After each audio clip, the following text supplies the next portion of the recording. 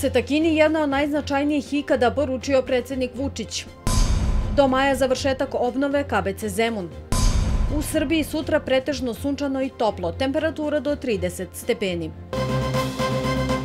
Predsednik Srbije Aleksandar Vučić ocenio je da će njegova predstojeća poseta Kini biti jedna od najznačajnijih poseta koju je ikada imao, kako ekonomski, tako i u političkom smislu. Ponosan sam na činjenicu da ću se po peti put sastajati s predsednikom Kine Xi Jinpingom.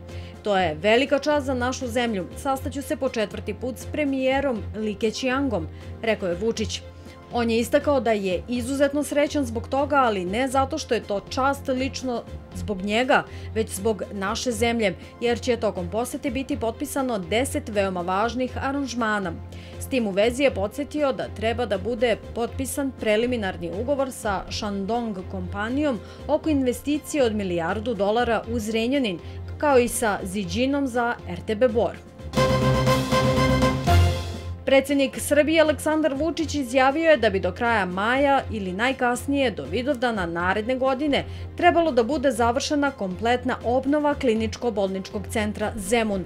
Vučić je danas u toj zdravstvenoj ustanovi obišao do sada rekonstruisane i novoopremljene prostorije i primetio da je zgrada u kojoj je smeštena pedijatrija, a koja je pod zaštitom države, u očajnom stanju i da kreće i njena obnova. Istakao je da se posle mnogo godina obnavljaju zdravstveni objekti u Srbiji, počevši od Kliničkog centra Niš, Urgentnog centra Kliničkog centra Srbije, ali i Kliničko-bolnički centar Zemun. Ukazao je da će i ta obnova biti finansirana iz budžeta zahvaljujući tome što imamo suficit.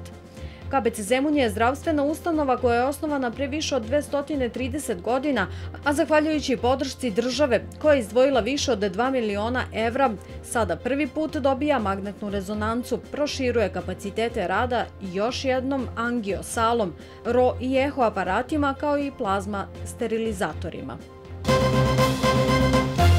Ministar financija Srbije Siniša Mali izjavio da će u Srbiji od 1. oktobra biti nikada veće penzije, kao i da će u javnom sektoru do kraja godine biti povećane plate. Gostujući u dnevniku RTS-a Mali je podsjetio da se danas otvaraju ponude za poljoprivrednu kompaniju Beograd. Evropski sud za ljudska prava presudio je danas da je Velika Britanija masovnim prisluškivanjem i nadzorom informacija prekršila pravo za privatnost koje garantuje Evropska konvencija o ljudskim pravima. Sud smatra da nije bilo dovoljno kontrole tokom izbora meta za prisluškivanje i da ne postoje nikakve sigurnosne mere. Ovaj slučaj su u Evropskom sudu za ljudska prava predale nevladine organizacije i organizacije za odbranu ljudskih prava nakon otkrića bivšeg saradnika Nacionalne bezbednostne agencije SAD, Edvarda Snowdena, o masovnom prisluškivanju koje su sprovodila američka i britanska vlada. Tropska oluja Olivija pogodila je Havaje i sa sobom donela obilne padavine i jake vetrove, zbog čega je nekoliko kuća na ostrvu Maui evakuisano. Olivija je pre nedelju dana imala jačinu uragana, međutim do Havaja je oslabila u tropsku oluju. Zabeleženi su vetrovi od 82 km na čas i 22 cm kiše po metru kvadratnom. Aluja je čupala drveće i došlo je do nestanka struje u pojedinim delovima Havaja. Meteorolozi upozoravaju da će i danas biti obilnih padavina.